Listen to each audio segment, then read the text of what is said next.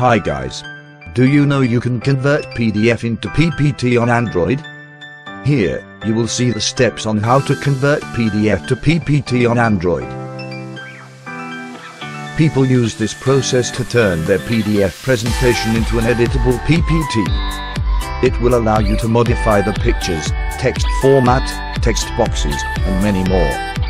Having said that, you can continue watching to discover the apps that you can use.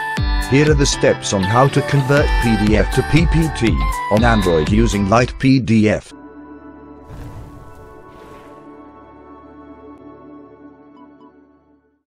First, go to Light PDF website. Then choose PDF to PPT icon and click plus button to import file. Hit the convert button to start the conversion process. Once done, download your file by clicking the download button.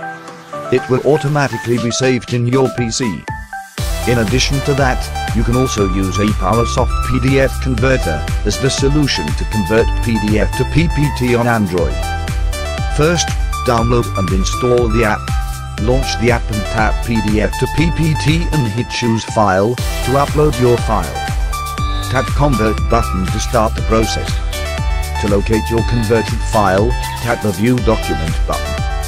And those are the steps on how to convert PDF to PPT on Android. Thank you for watching.